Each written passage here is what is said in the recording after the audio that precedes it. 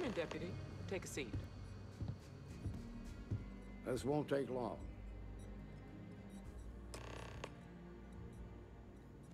While you've been in the field, we've had more reports about farmers being threatened and attacked. Unfortunately, some didn't survive.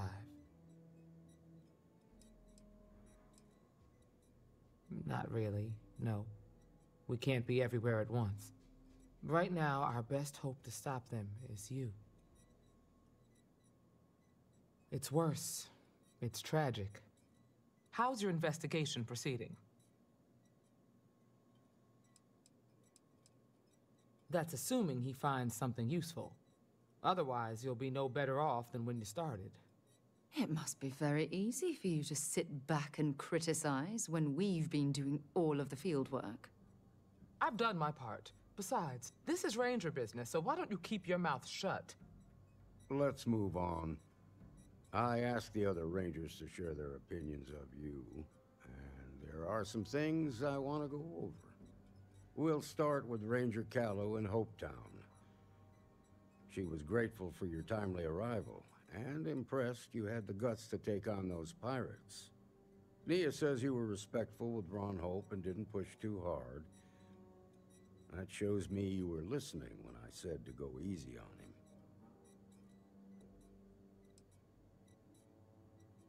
Duty has to come before personal feelings. I'm glad you understand that. Let's continue. We've got a detailed report from Ranger Price about your recent visit to Neon. He said you took on a syndicate loan shark to help an informant.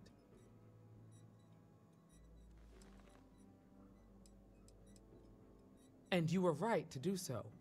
Helping people is our most important duty, even when you're conducting an investigation. You got results, and that's what matters most. Price was impressed by that. Said you really took the initiative. Ranger McMillan praised what she called your uncommon bravery and dedication. She said you took on the Red Mile so you could get a meeting with Marco Graziani.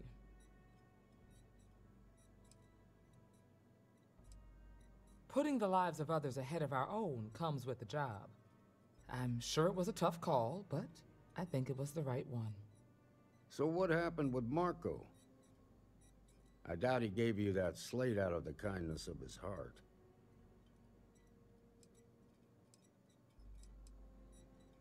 I suppose underestimating you was his last mistake.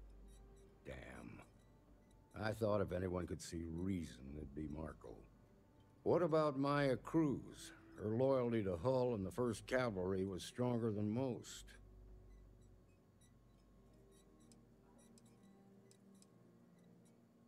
I guess I'd want the same thing if I were in her place. Excuse me, Marshal? Not now, Alex. We're in a meeting here. I know, but this is important. I've done it. I've cracked the encryption on the slates. Now, I don't know exactly where the First are headquartered, but there are references to a place called the Factory. The factory? That was our nickname for the main facility where the mechs were manufactured. Under the terms of the peace treaty, they shut all the mech factories down right after the war. But they didn't destroy them. At least not all of them.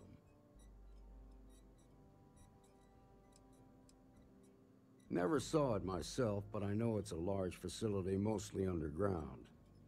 If the First are occupying it, they'll probably have set up defensive positions throughout the complex.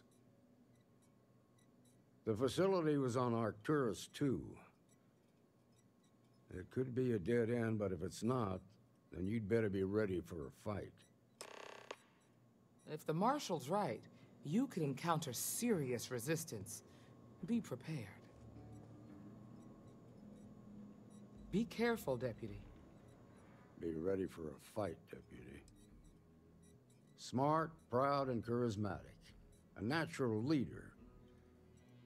Most in the 1st Cavalry would have laid down their lives on his orders without a second thought.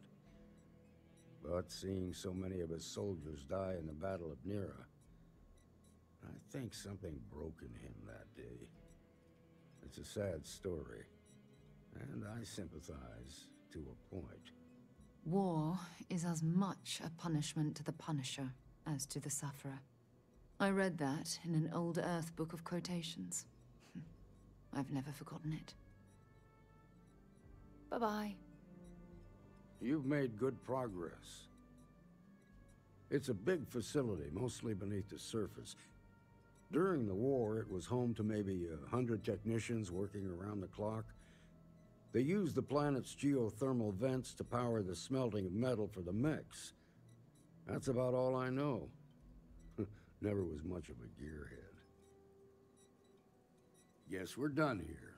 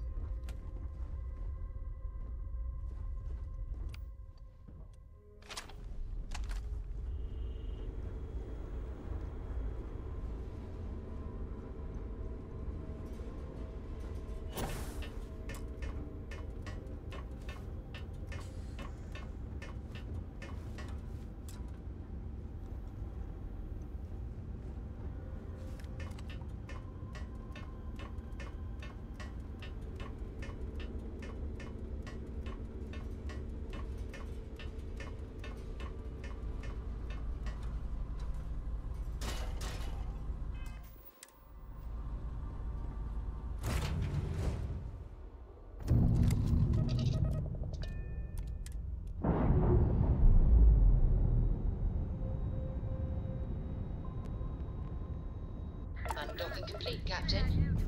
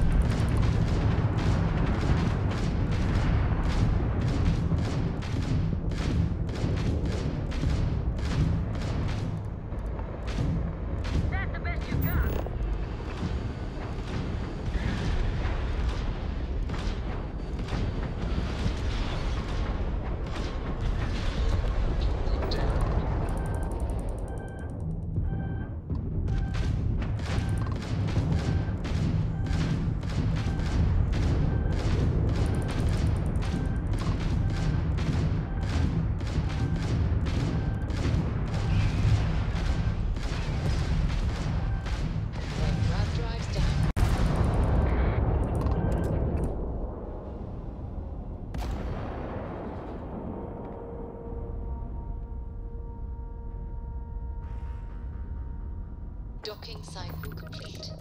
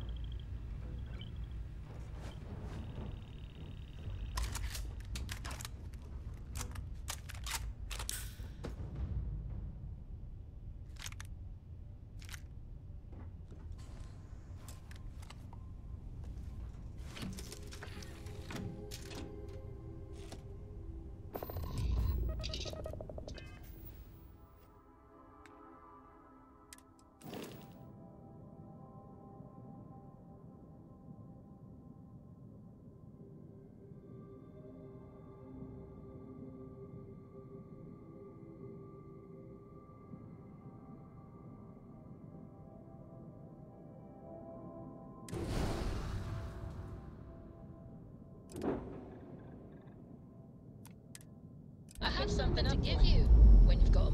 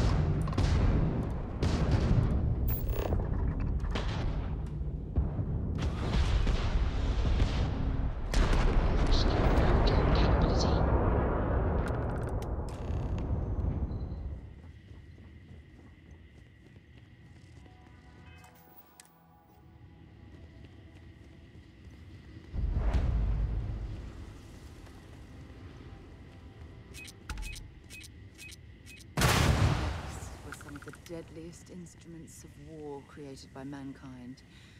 It's a relief that they've been outlawed by the Armistice. Uh, you know, I really don't like walking into deserted locations like this. This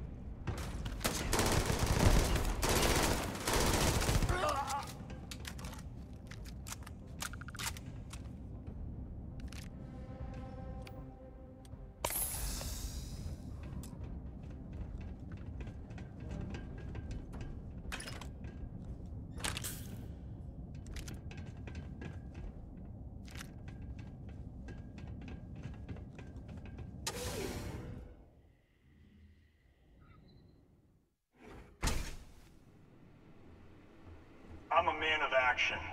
I've got no use for lies. So when I tell you that you're being manipulated, you know I'm telling the truth. You think the Council of Governors really cares about anything but themselves? They're greedy and corrupt. You're a tool in the hands of the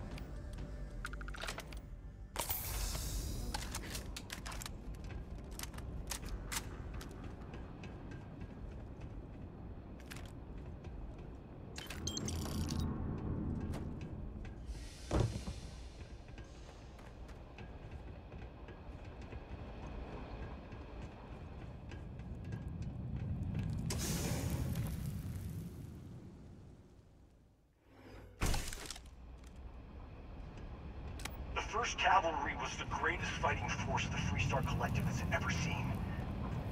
At the Battle of Nira, the 1st Cavalry was destroyed. Why? Because the generals got scared and asked for a truce. I've got no sympathy for cowards, or for the people who put them in power. I've also got no sympathy for those who do their bidding. And this means you.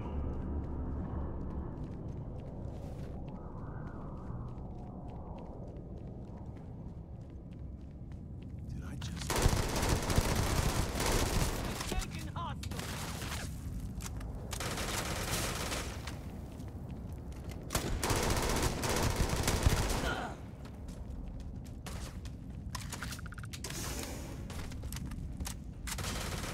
I'm sure they had something we can use.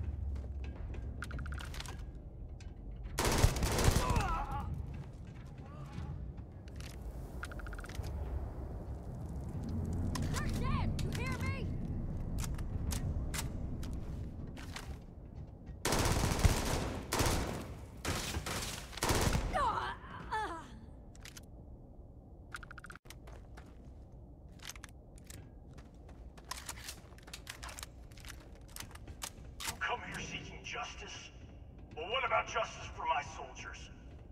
Minutes away, minutes from winning the battle and the war, when the ceasefire order came down.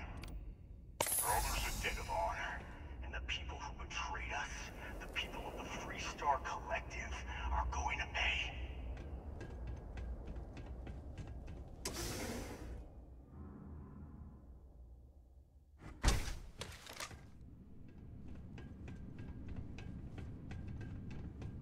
I can't believe the scope of the operation the FC was running here. It's a miracle that the fighting ended at all.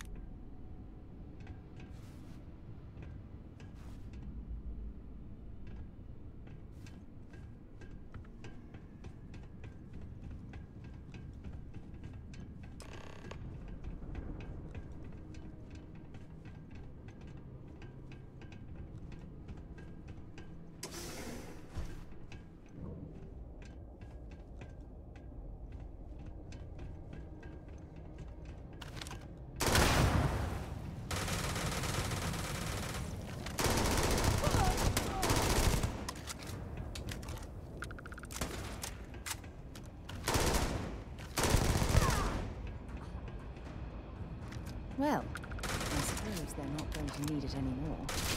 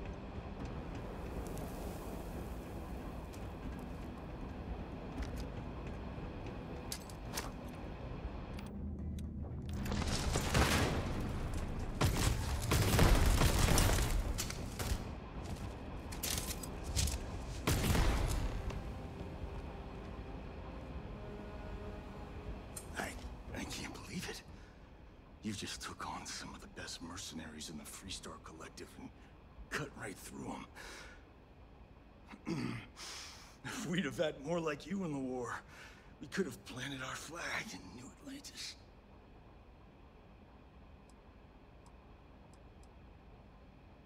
You fought because you had to, and you fought well. Don't apologize for that. More importantly, you survived.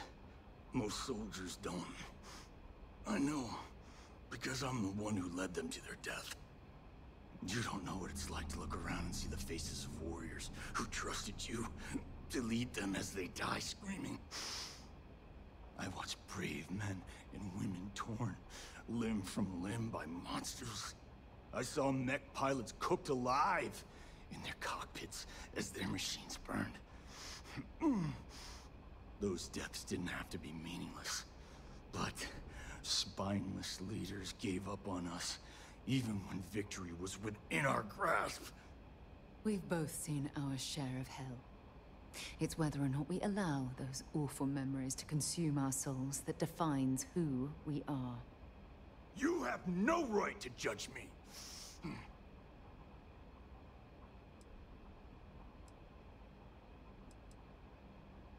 You really want to know? Because you might not like the answer. Last chance, Deputy. You can walk away right now and remain blissfully ignorant, thinking you fight for a noble cause. But if you still want the truth, I'll shatter that illusion for you right now.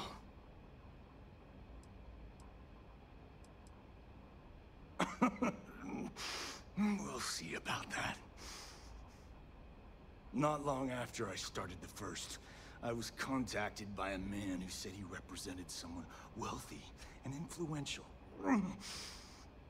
I refused to work for a shadow client, so he agreed to set up a meeting. Imagine my surprise when Ron Hope showed up. He offered me a lucrative contract to take possession of certain farms throughout Freestar space. That's quite an accusation.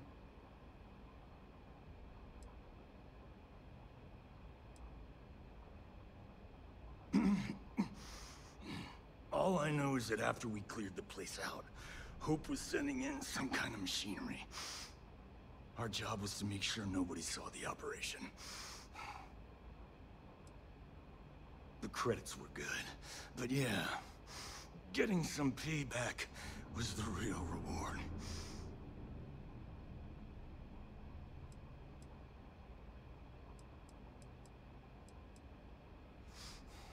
Don't bother.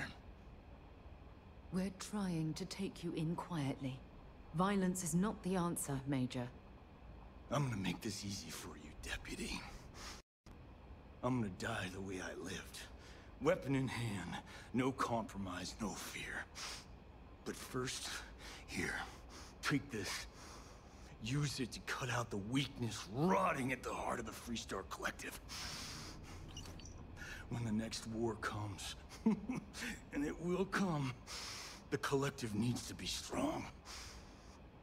Now my unit's waiting for me, and I'm gonna report for duty one last time.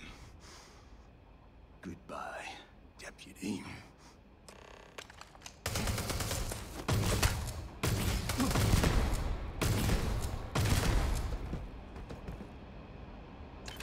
If you're searching, make it quick.